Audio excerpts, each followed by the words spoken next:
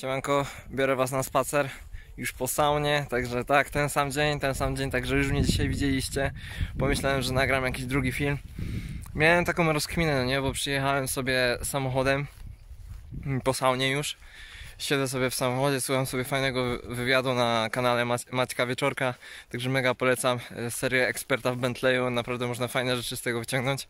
Także polecam, pozdrawiam Maćka i pozdrawiam w ogóle wszystkich, e, którzy słuchają tego kanału, bo jest tam z czego czerpać jakąś wiedzę kosmiczną, moim zdaniem, biznesową, cudowną, można sobie fajne rzeczy przemyśleć.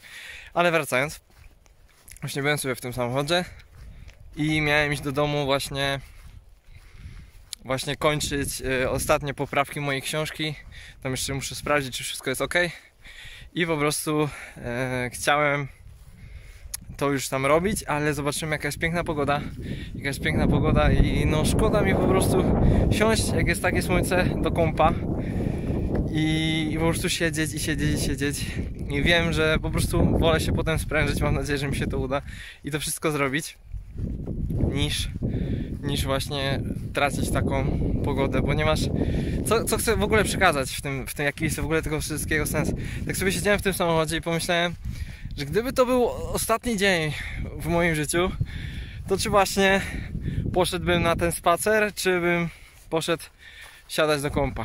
Kolejna akcja właśnie jest taka, że ostatnio mam mega, mega, mega myśli na temat właśnie co jeśli to by była ostatnia chwila, no nie?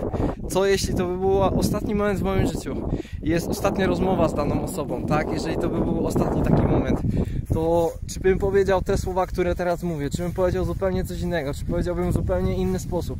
Zastanów się nad tym.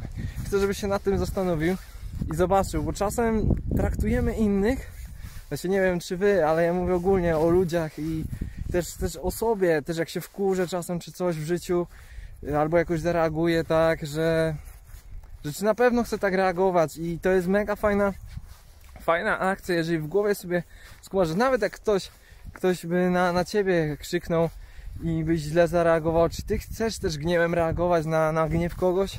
Czy jeżeli to by była ostatnia minuta w waszym życiu, to czy chciałbyś się gniewać, czy byś pieprznął ten cały gniew i po prostu przytuli tą drugą osobę i powiedział jej nie ziomeczku, nie kłóćmy się już uśmiechnijmy się i żyjmy w radości.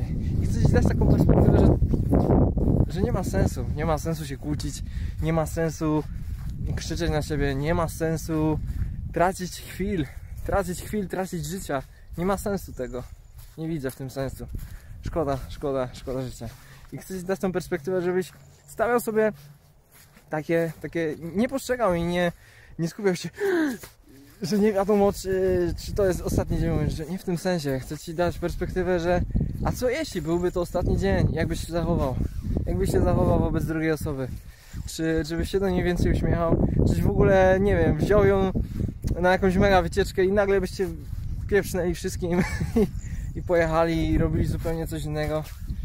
Co byście robili? Co byście do siebie mówili?